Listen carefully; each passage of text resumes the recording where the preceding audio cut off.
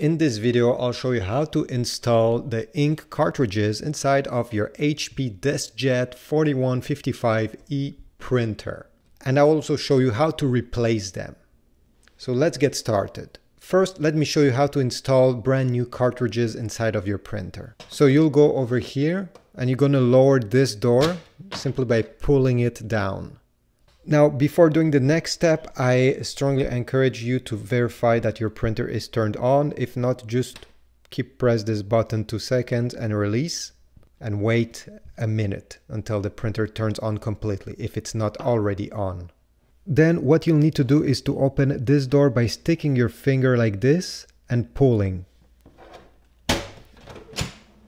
Wait a few seconds until the cartridge plastic holders are presented to you. And then as you can see over here, it shows you that the color one, so the one that has the purple top, goes on the left side and the black one goes on the right side. So let's do this. Before inserting a brand new cartridge, you should remove this orange tape. Simply peel it off. And never stick your finger on the print head or the contacts. To insert it, it's very easy. You're going to take it this way, going to bring it closer and you're going to glide it inside the slot here.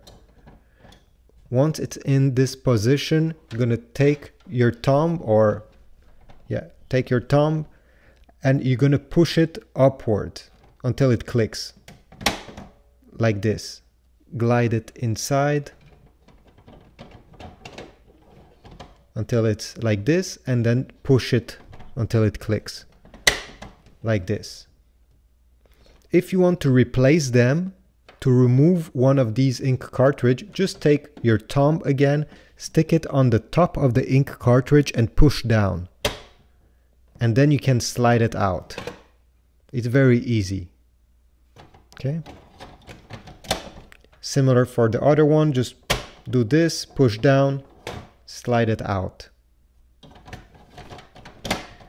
Once you're done, you're gonna close this door and you're done. Just wait about a minute before starting printing. If this video was useful, please leave a like, a thumbs up, also write a comment down below, check the links in the description and I'll see you in the next video.